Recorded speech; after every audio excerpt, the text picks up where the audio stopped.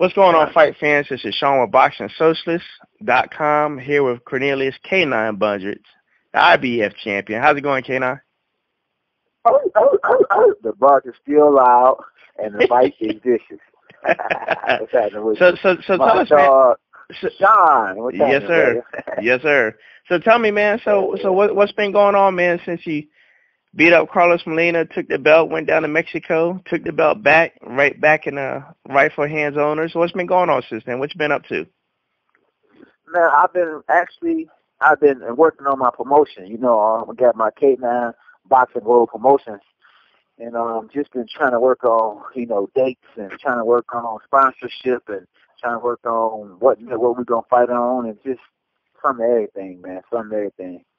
All right. So yeah. with, with your K9 promotions, are you looking to put on some cards up up in your area in the Detroit area? Everywhere. You know, my it, my my uh, promotion is called K9 Boxing Global Promotions. You know, we promoted the fight. We co-promoted the fight with Warrior Boxing in Cancun, Mexico, when I fought Carlos Molina. You know that? Oh no, no, no, I didn't. I know you were. I knew you had your promotions coming, but I didn't know you co-promoted it though. Yeah, co-promoted it for real. So, we got sponsorship. We Right. Brought in foreign TV, UK, and everything. Yeah, I actually, actually, Lord, just not get another check in um in my account. Like what about three, four days ago? Oh, nice, nice. Okay, so when yeah. that stuff gets ta- when it gets tallied up, man, they cut, they keep cutting them checks sending it to you. Exactly. Exactly. Oh man, so it's like having having your yeah, it's like having having your having your uh promotion company is the way to go. Man, listen, two checks is better than one. right, right. So yeah, let me ask yeah, this, K9. So, so, so, so we've heard this. So before we know you talked about fighting Canelo, except Canelo uh-huh. is Canelo now is fighting James Kirkland. Um, exactly. You know, we talked about Floyd Mayweather, but you know he got his sight set on the highest payday of his life fighting Manny Pacquiao. And then um, you got De- you got Demetrius Andrade who has the other belt, but um, it seemed like he's trying to bring Lara in to try to fight Lara for his belt. So who's who's out there that what do you want to do next? What's next? I mean, it seems like these other guys are occupied. So since you can't obviously fight for a title belt right now, since they're fighting other people, what do you want next for your career? Uh, I, I know you don't you know, want to sit I, out. I know you said you want to fight as much as you can. You didn't really want to sit out.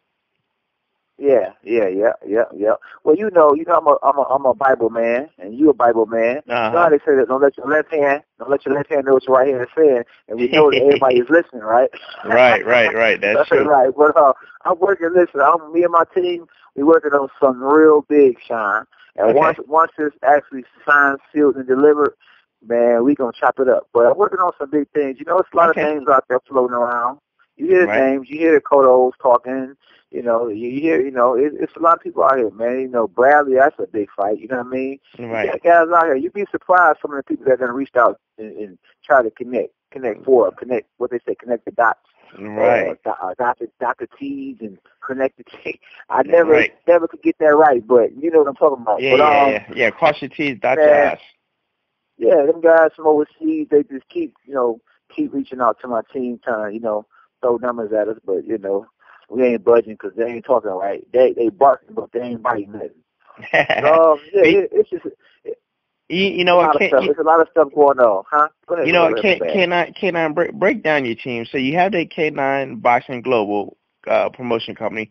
So tell us exactly who is your team. What's on your team? Oh man, um, my manager Shawana Bundrage, SB mm-hmm. Promotions.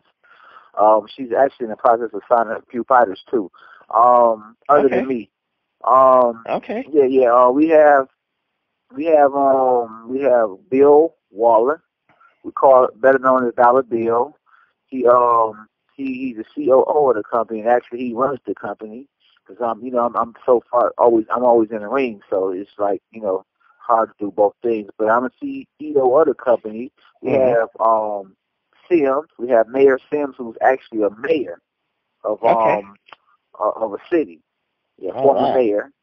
Uh, so you know we have we have man we have we have I mean all nationalities is working with us. We got we got you know we got Jews, we got um we got African Americans, we got white people, we got black people, you know we got female, we got my wife, you know. So every man, you name it, we came. I, I even got a Puerto Rican working with us. You know, okay. when I was out there and I, and I promoted the fight over in Cancun, Mexico with Warrior, um, I had me interpreter out there with me. So Right. whenever Molina would say something in Spanish, I would know what he was saying. Right, right. Okay, okay. Yeah, yeah. So yeah, yeah. So, we have so a guy we call I call him LL because he called himself the Lord of Licensing, Michael Gilbert. He's actually a Jew. okay. All yeah, right. yeah. He's a part of K9 Boxing Global Promotion. We have Michael Jamar. Michael Jamar. He is um he's a um designer. He actually used to work for Walt Disney. He used to design for them. Okay, sounds like you got a pretty big team rolling behind you. Oh man, that, that's why you got to get the biggest and best fight there is out here, and not just you know not we looking to make relationships, man. Have relationships with you know with with people, man. You know and do big things. I'm I'm I'm trying to prepare myself for the 13th round. I don't Okay, okay. be at the end of boxing and just over with. You know, no, I'm, I'm gonna have that suitcase and have on a suit and tie Right, and right, at the fights promoting. I ain't talking about just no local stuff. I'm right, talking about globally. right. But uh, my my CEO, I mean my COO, Bill Waller, you got to talk to him too, Sean. He can fill you in on a lot of a lot of things that we are doing because, I, like I say, he's running the company. Okay, I'm the CEO of the company, but he's the CEO of the company. But right. he, you know, he's he's working on a deal. Actually, I think it's in Dubai. We can start promoting shows over in Dubai. Oh, wow. He's a lot of things he's doing, a lot of names, you know, of the cities. I, I really can't even pronounce them. You know what I mean? But Right. he's working, man. We just got off the phone. I just got off the phone with him. His, actually, the headquarters is out. Where his office is at is in Vegas. Okay. So he, When you it- know, when- he, I'm sorry, go ahead. so he, he, no, I was gonna say he fills me in on a lot of stuff that's going on in Vegas. You know, like how how the how the um tickets and stuff were sold out as far as the Mayweather fight at what what like an hour or, or twenty thirty minutes. He- Uh-huh. He, knew about that. He knew about that before that actually hit the internet because he stayed in Vegas. Right, right. So you know, we Well- everywhere, man. We Well, well, K, well, well, K9, since you can't really tell us right now who the opponent is or what's Yeah. playing, can you at least give us a time frame of when you expect to be back in the ring? Um, I'll I'll, I'll definitely be um it it'll definitely be um hmm By at least June, July, be- sometime this summer? yeah yeah yeah yeah it'd be yeah probably in June probably in June it, it it'd definitely be before my mandatory. You Okay, know, I okay. see my I see I see that my um the guy who's a mandatory was just I don't know if it's your boy because y'all both stay in Houston, but um I see he's actually fighting for his um uh a tune-up fight I guess uh, March 28th. So you know it, it would definitely be right for me to get me a tune-up fight in and. You know, just to stay busy. You know, gotta stay busy. You know what I'm saying? Brush the Right. dirt off my shoulders. You know. Right. And then, well, let me ask this, K9. So what happened was, you know, we had, uh, you know, the Cold War between Oscar and Bob M. And we saw recently that they buried a hatchet and, and they're working together now. But on the Yeah. flip side, it seemed like Al Haymon has isolated himself from everybody and just doing his own thing all the way over in right field.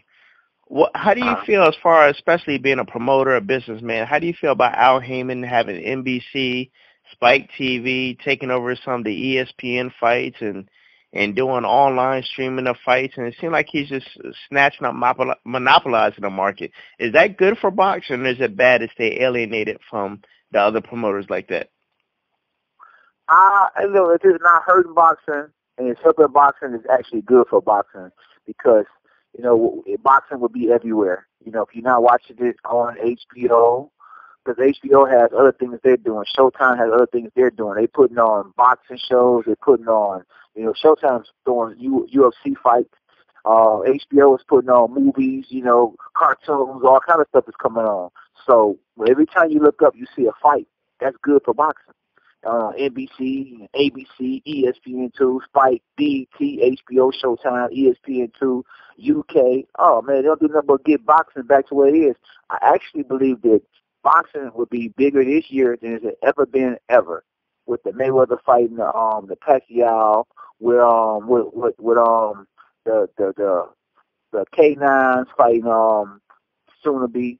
I'll let you know real soon. With the Kirkland and the Canelo. Yeah. With the, I mean, you could just go on and go on and go on for days. Andy Lee, Kid Chocolate, you know, Andy Lee was like some good work for me, man. I mean, That guy actually helped me to get ready for Southpaw. And Right. he he's a dangerous fighter, man. You know, he he, that guy can fight, man. So that's gonna be a good fight. You got the um the Adrien Broners and the Molina and the, mm-hmm. the Garcia and Peterson. Yeah, I mean, then you got on, the Thurman. Then we got the Thurman, the Thurman Robert the Ghost Guerrero. That's gonna be a good fight too. That's gonna be a good fight too. Yeah, you got man, you got man. I'm telling you, boxing will be. This is the biggest year in boxing history. I mean, even to me, bigger than even the Muhammad Ali days. Well, well, let me well, let me ask this, K9, with, with your promotional company. So, let me put this out. We know Al Haymon acts as an advisor slash sometimes manager, and the only yeah. way he's able to put on these fights is he uses people like Lou DiBella and and Dan yeah. and and the Goossen Tutor and Warriors Box and all that. Would you be open yeah. uh, to working with Al Haymon because he needs a promoter to put on the show? I mean, would would you be exactly. open to working with Al Haymon and, and getting you and your fighters and his fighters on NBC and Spike TV and all that, or? I'm telling you this. I'm telling you this. I'm not beefing with no one, so I'm open, you know, to to to to talk to to, to people to see, you know, see see what we can come up with.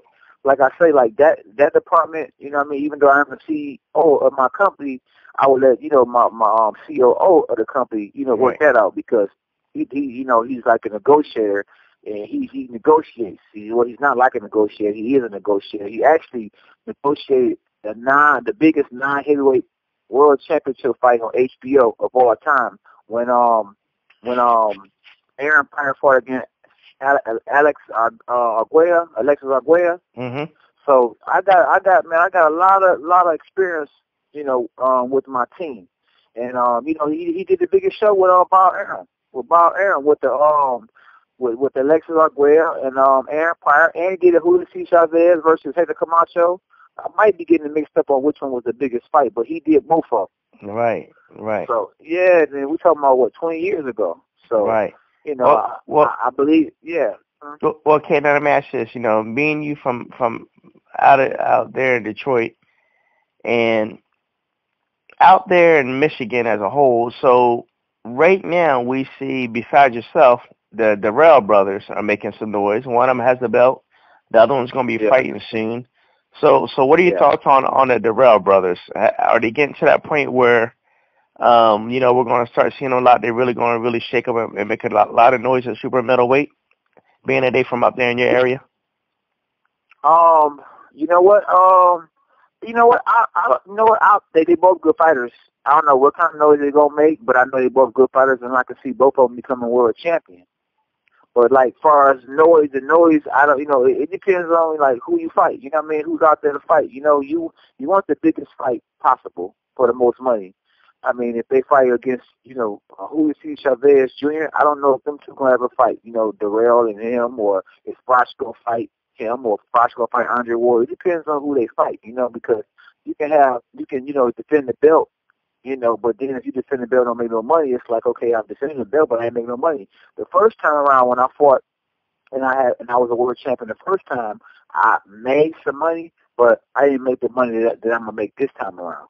Right. So it really depends on you know who who you fight. I mean, you have to look at um you have to look at who Al Haymon has you know in his stable in the super middleweight division, and that that's kind of like one of the reasons why you know I wouldn't um I would I wouldn't um have uh like uh Al Haymon like advise me because first of all I have an advisor because they reached out to me. I have an advisor. Of course, they're not promoting, so you know they wouldn't try to promote me, but they probably would try to have somebody else promote me, which you can't do that because I have my own promotion. So right. it wasn't that. It was, you know, it wasn't that I think I'm this and that. You know what I mean? Because I'm a Christian, I'm humble, but it's just that, you know, I I'm, I'm situated. You know, what I, who gonna pay me more than me? You know what I'm saying? Right. Who gonna right. do more for me than me? So that's right. why you know that's why I come with even with Golden Boy. Like when when um when um I went and fought for the number one spot, you know, Golden Boy they wanted to sign me up, and um I I didn't sign because I wanted to do my own thing. You know, it wasn't no beef with Golden Boy or nothing. It wasn't no beef. It's no beef with Al Haymon. It's no beef for no one. But I'm trying to prepare myself for a 13th round. Right. Like, you can't fight forever. You know what I mean? You can't fight forever. And um, I just want to be ready when I do retire, hand the gloves up. You know that um, I will still be in boxing. I dedicated my life, and I did a whole lot for the sport of boxing.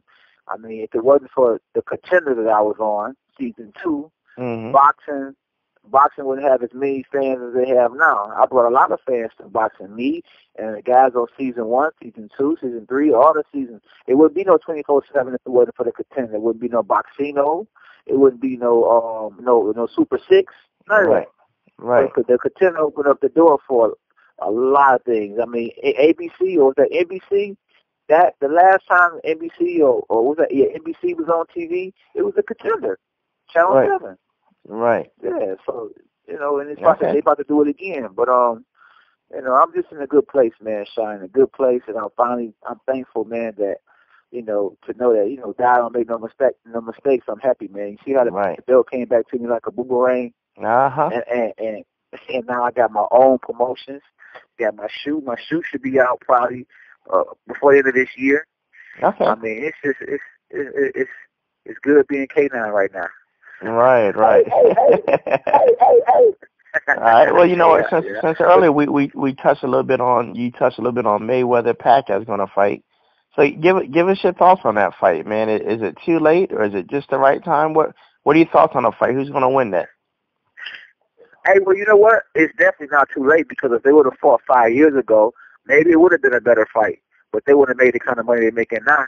Right. And you know, and you know, as a, a, a being a guy, you know, it's very important to be patient. And them Right. being patient, even though they probably was forced to be patient, or they they just being patient because they didn't want to fight each other at the time because you know because of the business part, you never know the teams probably didn't get along, or they probably one thought the other one was on drugs, and both of them was, was real big back then. So Right. it's like one would give and the other wouldn't give either. Right. You know, but then you know with, with Pacquiao losing his first fight, I mean, well losing against Marquez, you know what I mean? I Right. guess he decided, and being a Christian now too, I guess he decided to say, okay, I give because if I don't give, you you ain't gonna give. You know what I mean? And you Right. never lost. You know what I mean? So, well, let's go ahead and make it make the fight. You know what I mean? And then, I mean, it's gonna be a. a uh, I tell you, the event for sure is gonna be off the hook, off the chain. You know what I mean? Right. And I hope the security is there, man, because I don't trust them terrorists uh, with, with something that big. Right. So that's big. You know what I mean? So I hope the security is off the hook when it comes to that fight. Right. Um, it's hard to predict who I think gonna win because if you notice, Mike Tyson, or Mike Tyson fought, right before he fought against the Buster Douglas, he had got dropped in the gym. So you know the streets be talking. We don't know what's gonna happen in training camp. What what if Mayweather get dropped in the gym? What if Pacquiao get dropped in the gym? The streets might talk about that before the fight get made. So you be done bet for the fight, bet on the fight, or say who you think gonna win. Right. While somebody done got hurt in the gym, you know what I mean? You know, they gonna say who you gonna now you can't you can't say, Well no, I wanna bet no man, guy might shoot you or kill you. Right. That's why I'll bet anyway. But I always a big fight like that, I like to wait until they until both guys are in the ring before I say who I think gonna win because you might see it might be a, a cut that's just not going away on a person's face. And the other Right. guy, other fighter might see that Mayweather might see Pacquiao had a cut, or Pacquiao might see that May, Mayweather had a cut. They're not gonna cancel the fight on on, on because of a cut. They're gonna try to do whatever they can to try to heal it.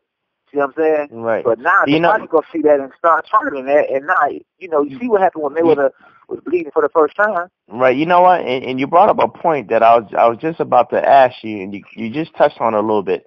A fight of this magnitude, a fight that's this big, if you're not 100% a couple weeks going into the fight, do you risk going into the biggest fight ever in boxing history not being 100%, or do you just push it back a couple weeks and say, hey, we're still fighting, just let's push it back a two or three weeks. You can keep your tickets. You can still come out. We'll get the hotels to recomp your dates and all that. With a fight like this, if you weren't 100%, would you risk going all the way, or do you want to be 100% in a fight of this magnitude? I think I think you risk going all the way. You risk going all the way because within that two three weeks, anything can happen. So you know you you just should be careful. You won't believe in no superstitions and thinking that this can happen and that can happen. You won't think that because you saw a black cat that you're gonna actually get cut. You know what I mean? Or fall on your face or something. So you know you make sure. I guess if they believe in superstitions, they won't cross poles in that. You know what I'm saying? Right. And I think that they, you know, they just I had the same training camp they normally had, you know. But they, you know, they they smart enough to know how much work they need to get. They smart enough to to, know what what, what headgear they need to wear. You know, they smart enough to know like who they need to smart. So I don't think nothing crazy is going to happen, but I'm saying anything can happen. Nothing's perfect in this world but God. Right. Well, can I? I don't okay. think Pac. Yeah, go ahead. Go ahead. I was going to say I don't think Pacquiao is playing basketball anymore right now either. I, I hope not. you know, exactly. you, I mean, yeah. yeah, you know, being into the 154 pound division, um, a lot of a lot of y'all have been around for a while. 154 pound division. We have some nice young and upcomers, people that's coming up. What are your thoughts on um, the young 154 pounders like Errol Spences and Julian J. Rock Williams? What do you think about these young cats coming up? Do you think they're the future of oh, boxing? You know what? Those young guys, man, those young guys are gonna be all right, man. I, I can tell you the future of boxing is um is, is heading in the right direction because you got a lot of young up and coming fighters. Like even like the guy from um from my city, Detroit, who's actually fighting on ESPN two um this Friday. Tony Harrison. Um, Tony Harrison. Yeah, he's a good fighter. So boxing is not going nowhere no time soon. And like like like like the Spencers and the Julian Williams and um Harrison and even another fighter from Detroit. You know, you can't you can't talk boxing and leave Detroit out there. You got Dominique Dawson. You know, he's mm-hmm. another good fighter from the city trade, a junior middleweight, you know, and um, right. so yeah, yeah, the division is, is in good hands. It's in good hands. Even even um the Charlo brothers, even the Charlo brothers, you know, they some good fighters too, you know, and you know, so and they're young, so even if you know they take a L, you know, they can come, they can come back from that being 22, 23, you know what I mean? Mm-hmm. So you right. boxing is in, you know, the future of boxing man is man definitely is bright real bright. I'm talking about bright right. like that snow outside. right, right, right. All right, well, yeah, well, yeah, well. I'll tell you, I'll tell you what, Ken. Now we're looking forward to seeing you back in the ring soon, uh, brother. I know you're going to keep us posted once you hear something, uh, what's coming out. Um, hopefully, Boxing Social will be the first one to break the news, so we'll be waiting on pins and needles. And uh, what, what, what do you want to say? Don't be, don't be a stranger. Listen, you don't be a stranger, man, because I understand you. Because now, look, when I now now when I didn't have a belt, you was writing everything for uh, me and about me. And when I get the belt, you just stop calling, stop texting, everything. So I'm like, man, that's that's opposite, you know. Oh yeah, yeah. you know, you know what I'm saying? A fat chaser, shoot, she go, she gonna get with you when you got it. You know what I mean? Yeah, yeah. you know, I'm just talking about like I'm just using that as an example. You Right, know, right. You got it, she, you know, you know, you know, know what I'm saying. You know, the, the, the game wise, Yeah. you know, knowledge wise, or you was like, like, wow, he disappeared, like man, you know. But I Right. tell you this much, man, what what, what didn't make no sense to me is Grady Brewer told me one time. Me and Grady Brewer was pretty cool, man. I'm talking about we was real cool. Uh-huh. And um, you know, once I became world champion, he stopped calling me, and I, I called him. I said, man, you know, what's happening, man? You know, you ain't hit your brother up. Right. He said, man, um, he said, I thought you was too big, man, for me. You know, you. I'm like, huh? Said, man, I'm real. I said, if we boys, we boys, we brothers, we brothers, Right. man. You know, money don't change me. You know what I mean? People change. right, right, exactly. Yeah, so. All right, well, K9, what, what do you um, what do you want to say to your fans and all that in closing? What do you want to tell the boxing world? Oh man, I, I just want to tell them um, stay tuned. You know, um, definitely stay tuned, man. K9 Boxing Hole P- Promotions. Man, y'all gonna be surprised at the things that we do. You know what I mean? With God's help, man. Um, they can reach me um, on Twitter, Facebook, Instagram at K9 Boxing. Um, raise ra- when you get to the top, don't stop there. Raise the roof and go farther. Right, right. There you have it, ladies and gentlemen. Cornelius K9 Bundrage. Got his promotional company. Uh, his sneakers are coming out towards the end of the year. And, you know, on top of that, he's going to have a big announcement for his fight coming up soon. He's willing to work with these other promoters. There's a lot coming out. K9, thanks for being on the show, buddy.